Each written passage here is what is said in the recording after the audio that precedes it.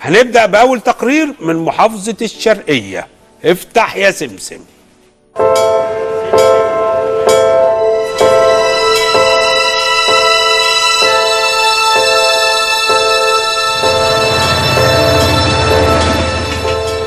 إحنا هنا في محافظة الشرقية تاني أكبر محافظات مصر من حيث التعداد السكاني. وعلشان هي محافظة كبيرة بتعدادها هي كمان كبيرة بأزماتها ومشاكلها.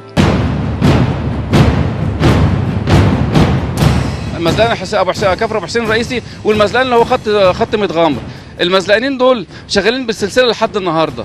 طيب أنا أنا ما بشوفش الاشاره ما فيش إشارة ضوئية.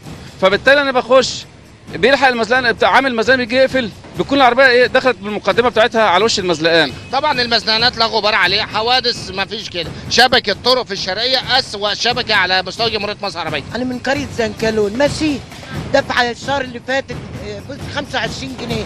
الشهر ده جايب لي 360 جنيه ما فيش حد بيشوف الحداد وهي لندا عشان أنا بربي في يتامى وهي لندا أقسم بالله لندا اللي في الصاله في البيت كله. مستشفى الزنكلون ما فيش فيها أي تخصص من أي دكاترة. عادي جدا مستشفى خوية. عبارة عن ممرضات. عادي جدا بيجوا الساعة 10 ويمشوا الساعة 11 لا بتلاقي فيها برشامة مغص السرنجه بتشتريها من بره حط قطه بتشتريها من بره لو واحد عنده مغص يقول له اركب ميكروباص وروح مستشفى الزقازيق العام. لا صرف صحي معدول ولا مية معدولة. والصرف اللي عندنا هنا عدموه لنا. محدش بيج... محدش بيبص لنا في أي حاجة اللي بيجي يسقف له ينجح يمشي. المية هنا مش نظيفة خالص وبعدين بتبص تلاقي انت لو مليت ازازة وسبتها بعديها بشوية بتلاقي المية ريحتها مش حلوة خالص غير طعمها بقى طبعا وغير الأملاح اللي فيه. المشكلة المية في منطقة الأحرار متغيرة خالص وفي شارع فاروق برضو المية بيكون ساعات أحيانا لونها أصفر وطعمها متغير خالص وهي بتسبب أمراض فشل كلوي. يعني أنا واحدة من الناس عندي بيجي لي رتش على الكلى على طول بسبب المية دي. بسبب صرف الصحة وسبب الحاجات الميتة اللي هي الحمير البتاع كل الحيوانات اللي بتموت دي بتترمي في في المية. هتروح فين؟ الزبالة بتتحط بتاع. وبعدين المواسير كلها تعبانة. مواسير حديد كانت قديمة من زمان مصدية حل البلد. نعمل فيها إيه دي؟ يعني إحنا كل شوية هنحل المية؟ عندنا مدرسة بقالنا 10 سنين بنجري عليها. يا سيادة المحافظ. في نز... في فلوس نازلة للمدارس. يا ريت تخلينا في ال... في ال... في الميزانية اللي جاية. الأرض جاهزة وال... وكل حاجة جاهزة. ورق المدرسة جاهز. يا ريت سيادتك سي... المحافظ الشرقية ينزل يسلم الأرض للابناء التعليمية.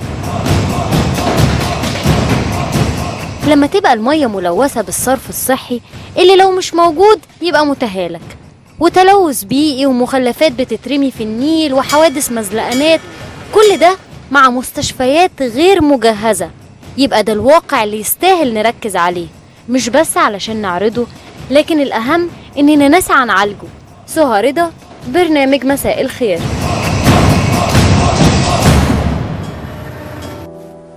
الدكتور سعيد عبد العزيز محافظ الشرقية تولى المسؤولية في المحافظة في 13 أغسطس 2013 يعني تقريبا من سبع شهور ونص.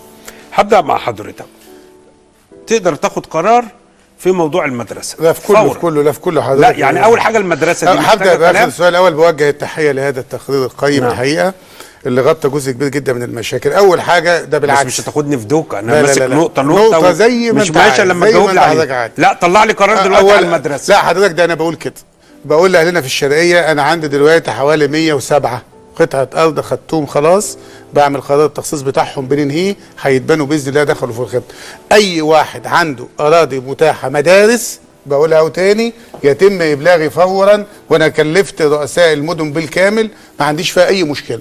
لأن أنا جاي فند من الاتحاد الأوروبي جاي لي محمد صبحي الإمارات دعم من هنا ومن هنا ومن هنا فبالتأكيد أي أرض هتكون متاحة هتدخل مع خطة الأبنية السيد محافظ الشرقية بيقول لأهالي محافظة الشرقية بالكامل أي حد عنده قطعة أرض عايز يبني عليها مدرسة يطلع على السيد المحافظ ويقول له أدي قطعة الأرض أهي.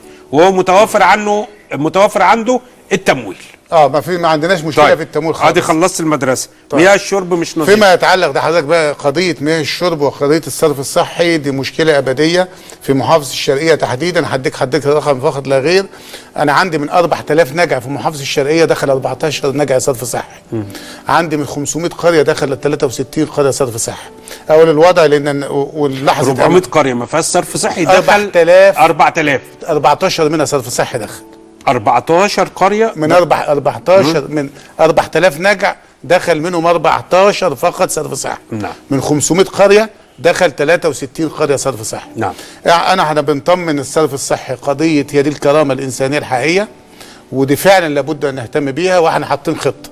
ده إحنا متفقين عليه الفعل إيه؟ الفعل بقى حضرتك الاتي إحنا بدأنا يمكن كان إبراهيم بيه محلب قبل ما يبدأ مباشرة بدأنا بفتح محطة صرف صحي في منطقة مع- في ولاد صقر بإذن الله الشهر الجاي هنبدأ في محطة تانية في بلبيس بس لا تغطي الاحتياجات الحد مشكلتك الادنى إيه؟